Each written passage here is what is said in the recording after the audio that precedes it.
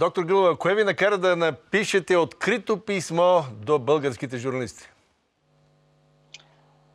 Ами, много неща. То постоянно имам някакви поводи да пиша открити писма. Изглежда задоволявам някаква графоманска потребност. А, но в конкретния случай ме накара това, че с, а, един репортаж гледах от село Равнец и бях потресена от отношението на хората към една жена, която си м- позволява лукса да иска да се прибере в къщи, а работи в COVID отделение. Нали, в последствие излязоха информации, че не било точно така, че тя си била продала къщата, пък нямало къде да отиде, пък това било решение на нейните а, деца. Но мен ме потреса ултиматума, който нейните а, съселяни поставиха към децата, към внуците и да не посещават училище, защото са контактни с човек, който е контактен с COVID, или те ще ли да спрат децата си от училище. И в този момент си дадох ясна сметка колко наплашени са хората, колко много са спрели да мислят с главите си и колко са водени от паниката, а не от нормалния човешки страх, до степен, че а, могат да поставят такива ултиматуми към едни деца. И си спомних за това, което ми е разказвал моя баща. Той по време на национализацията е бил в първи клас – Дядо ми е отказал да, се, да влезе в ТКЗС с богатството си от 4 биволици и 10 декара земя. И тогава е влязал директора на, директора на училището в класа на баща ми и каза, попитал кои деца не са, чии родители не са влязли в ТКЗС. Изправили се няколко деца и директора казал ми, отутре няма да сте на училище. И така, моя дядо богаташ е се е национализирал, влязал е в ТКЗС. И когато гледах репортажа си спомних точно за това. Или, или. Ние стигнахме до там да поставяме ултиматуми към едни деца, да ги дъмгосваме за това, че тяхната баба работи в COVID отделение. И това ме потреса. И си дадох сметка, че наистина има нужда от а, образователни предавания, от такива предавания, които да обяснят на хората спокойно и разумно какво представлява това заболяване, колко е опасно, как се предава, за да не стигаме до такива крайности в поведението си. Защото и това, и другото, което виждам ежедневно, наистина ме плаши. Доколко ние сме загубили нашия човешки облик. За състрадателност и съпричастие вече мисля, че не можем даже и да говорим. В това открито писмо обаче имаше и упрек към журналистите. Да, имаше, защото а, същия ден или в тези дни излезе и информация, че трима колеги лекари, депутати от БСП, а, стават от депутатските банки и отиват да помагат на болницата в Свищов и болницата в Шумен, които всички разбрахме, че са в доста тежко кадрово състояние. И на практика в едната болница, за да при влушаване на пациент се налага да се вика бърза помощ. И затова нямаше нито дума. Да, в последствие вече в следващите дни, така с половин уста, тук таме някой си... Имам предвид предимно журналистите от електронните медии, защото не всички хора имат достъп до интернет, не всички четат сайтове. Разбира се, много журналисти от сайтове реагираха веднага с тази информация, но ам, общо взето в големите електронни медии, в телевизиите, първоначално нямаше информация. Може би, защото са депутати от БСП. А, а това не беше. Ако бяха от ГЕРБ, казвате, че журналисти са ще ли да, от сутрин до вечер да, да излъчват? Да, щяхме да знаем с а, маска, каква маска, от кой вид са. Щяхме да знаем как са облечени, колко им е трудно. Ето, видяхме сутринта включването в BTV за е, интервюто с Джамбаски. Той какъв стай, стайлинг беше избрал за това интервю. Играеше го доброволец от военна болница и оттам се включи, за да обяснява как е най-нормалното нещо да се хвърлят пиратки по хората. В един а офис защо... на партия, управна партия има пиратки. Защо казвате играеше го? Ами, Защото за мен това не е сериозно. Значи този човек представлява България в Европарламента, той е един от 17. А, и не, че е несериозно да бъде доброволец. Не искам да бъда разбрана криво. Това е много добре. Даже още по-добре би било, ако беше отишъл да доброволства в някои от болниците, които имат тежък кадрови дефицит. Но а, когато има такава сериозна тема за разговор, когато ще се обсъждат тези проблеми, мисля, че спокойно можеше да бъде и в по-цивилно облекло и да не, да не се снима от болницата. Това Колко нищо не, по никакъв начин за мислещите хора, това не е индикатор, че Джамбаски се е хвърлил да се бори с коронавирусната инфекция. Поне за мен не е индикатор.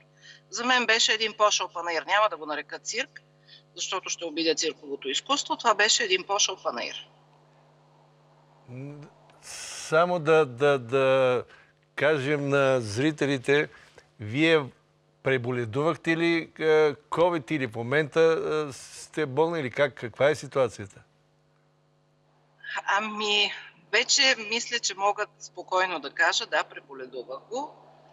А, за щастие бях от късметлиите с така сравнително лека симптоматика.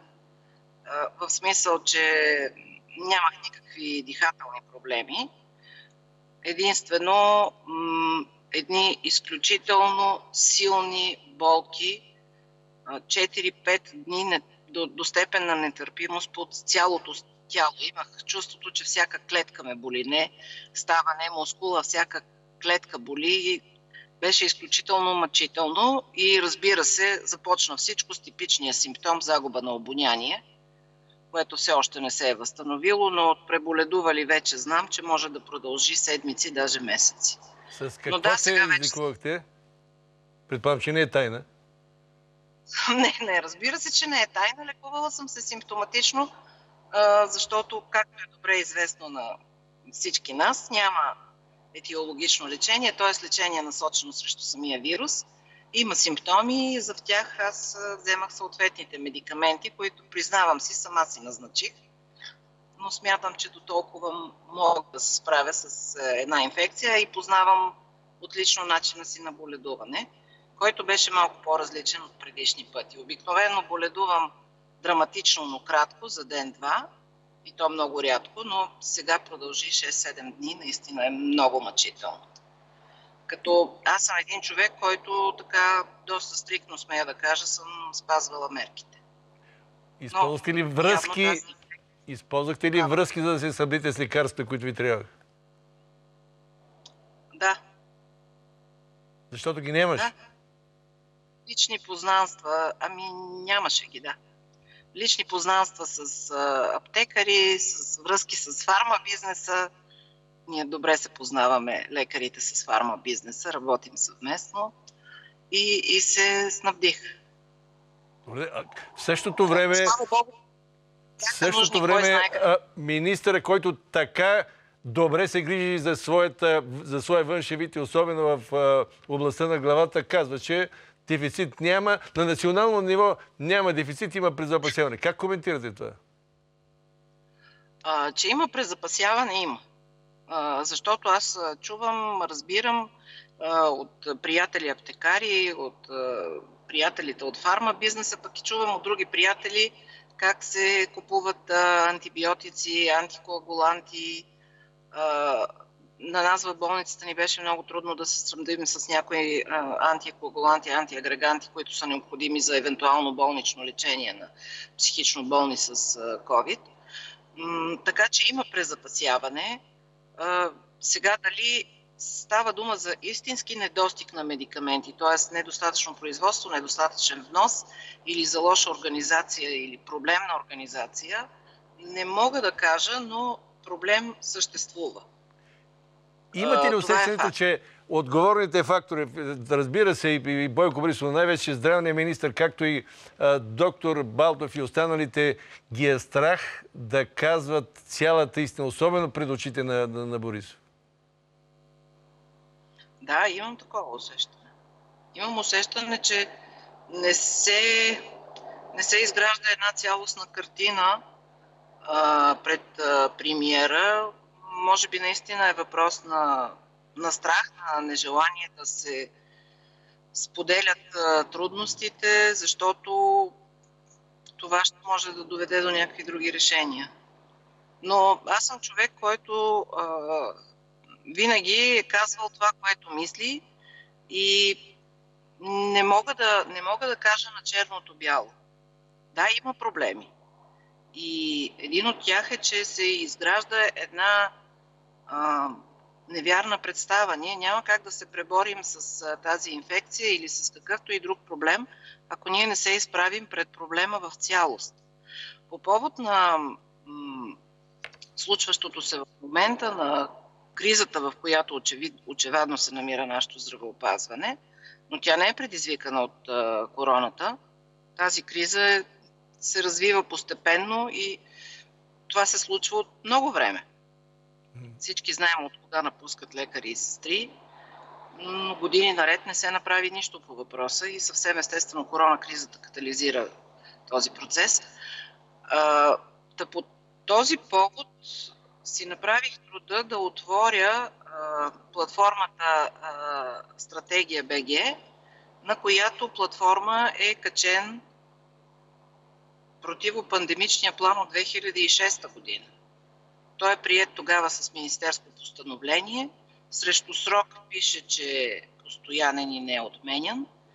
И го прегледах, той е един голям документ, но си заслужава, интересен е и ми се струва, без да имам претенции, разбира се, че съм от това ниво на менеджмент здравеопазването, че да взема такива решения, че този план би, щеше да ни свърши много добра работа. Просто трябваше да се усъвремени и да се върви по него, защото от това, което прочетох в плана, той е правен с много мисъл, с много анализ и с много статистически данни, които са, разбира се, от тези години. 2003-2004-2005. Е, да, и ама... този план... Е, да, да, ама не, както казваше да. Петко Бочаров. И сега у всички ни, и смея да, да направя това обобщение, у всички ни остава впечатлението, че проблемите не се решават в цялост, а се решават на парче. Тук възникне проблем, там възникне проблем – и да, може би момента не е точно за радикални реформи в здравеопазването, но е факт, че трябва да вземем болезнени и тежки решения, които да ни преведат през този труден период. А той няма да свърши в края на годината. Добре. Респираторно не свършва просто е и така. Последен въпрос. Нещо ново в развитието на вашите дела срещу онази странна персона Стойчев Стойчев? Както аз го наричам, индивида Стойчев. Не, няма никакво развитие. Каквото трябва съм направила, разпитана съм, движат се нещата, очаквам отговор. Ако не ми харесва отговора, ще продължа с своята систематична работа, защото ам, има тази възможност, като не ти хареса решението на една инстанция, отиваш на следваща, отиваш на трета. За сега сме още в началото, но ам, по повод на това, което ме питате, напоследък се вихри един скандал с професор Мирчев. Аз видях, За, че е използвал чух... език на омразата и така нататък. Да, да. И някакви студенти се бяха възмутили. А, сега ще следя реакцията на професор Гирджиков, не знам до момента дали има официална такава, mm-hmm. и ще я сравня с неговата реакция на моето лично писмо до него, не отвореното. След това, разби... след инцидента, написах и едно официално писмо до ръководството и до него. И ще следя неговата реакция на този скандал, ще я сравня с реакцията, която имаше в отговора му до мен. А именно, че няма да отстрани Стойчев от преподавателска работа, защото това би било задушаване свободата на словото. И нали, на мен ми беше интересно как може едно просташко поведение да се интерпретира като свобода на словото. И сега ще следят каква ще бъде специално реакцията на професор Гирджиков спрямо а, скандала с а, професор Мирчев. И се чудя тези студенти, които скочиха така срещу професор Мирчев, защо не реагираха по никакъв начин на скандалното поведение на Стойчев. Може би го толерират, може би го намират за нормално, може би това не е език на омразата. Не знам, бих ги попитала, ако знам кои са. Ясно. Но може Добре. и да се срещна с тях. Така съм студентка в Софийския университет. може да имаме среща с тези колеги, с студенти. Да. Тук ме подсказва, че по литература и риторика или риторика само. Риторика. Да, риторика. Някои са запознати курс. добре с вашата биография. Да, както да е. Да. Благодаря, благодаря само да кажа, професор Герджиков е ректора на Софийския университет, от когото чакаме позиция и по случая с професор Мирчев, който го разкъсват вече няколко дни по а, медиите, за разлика от Стойчо, който а, за дивотиите му а, много бързо отихна скандала, но иначе, когато недопустимо, според мен, го целеха с някакви предмети след едно участие панорама, а, също раздувката беше голяма, но пак казвам, аз казах и тогава, недопустимо е да се хвърлят предмети по а, такива хора, пак и по всякакви хора, така както е абсолютно за мен недопустимо а, да се хвърлят а, предмети по действащи журналисти, както беше случая с колежката от нова телевизия миналия петък пред а, БНТ. Няма значение нова, реномето и политиката и така нататък.